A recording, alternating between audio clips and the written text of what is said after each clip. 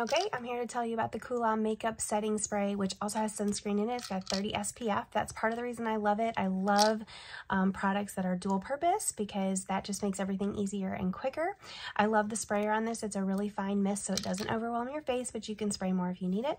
So let's spray real quick. A little pro tip, I like to do it before I put on my mascara because truth be told, I am not patient enough for my mascara to dry before I use my setting spray and then my mascara gets on my face. So spraying this real quick. Gonna do my mascara and out the door, and then I'll show you how it is at the end of the day.